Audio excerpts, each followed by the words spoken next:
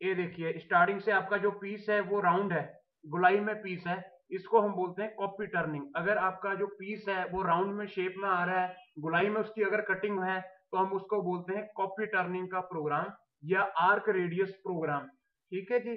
अब इसमें क्या होता है कि दो तरह के रेडियस होते हैं.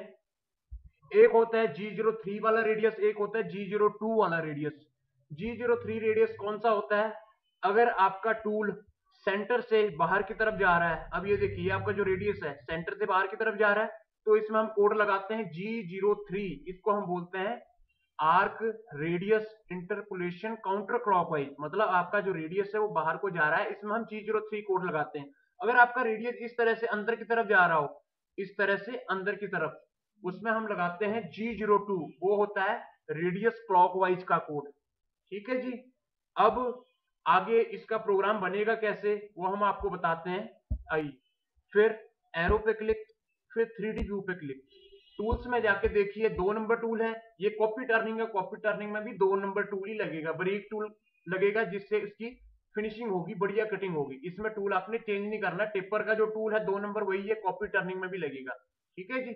उसके बाद खाली जगह पे क्लिक कीजिए। अलार्म के साथ आप एरो पे क्लिक उसके बाद ग्राफ पे क्लिक उसके बाद वर्क पीस पे क्लिक कीजिए। इसका वर्क पीस सेट करना है कि आपका जो पीस है, उसकी टोटल लेंथ कितनी है, उसका टोटल डाय कितना है। डायग्राम देखिए टोटल इसकी लेंथ कितनी है? देखिए, जो 65 है, वो यहाँ से लेके यहाँ सेंटर तक है। आगे जो 4.5 है, वो भी हमने इसमें जोड़ना है। 65 में 4.5 अगर जोड़ोगे, कितना हो जाएगा? 69.5 लेंथ होगी इसकी 69.5 और डाया कितना है? 26 कटिंग कहाँ तक हुई इसकी? 51 तक। तो हम क्या करेंगे इसको 55 बाहर रखेंगे ताकि आपका टूल चेक के साथ टकराए ना।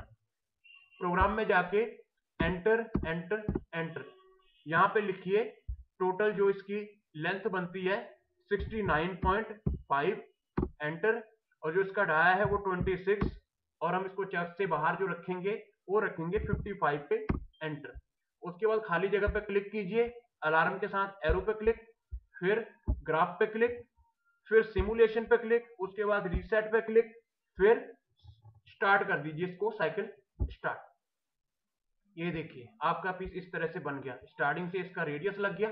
ठीक है जी? ज़ीरो थ्री लगाया हमने, बाहर की तरफ़ रेडियस लग गया। आगे फ्लैट है, उसके बाद टेपर है, फिर फ्लैट है, फिर ऊपर उठा के इसको हवा में लेके गए। फ्रंट से देखोगे आपका जो पीस है, वो इस तरह से बन के तैयार हो गया। ये थी आपकी simple copy turning simple copy turning का ऑपरेशन था। नेक्स्ट हम जो करेंगे वो स्टेप कॉपी टर्निंग करेंगे। ठीक है जी?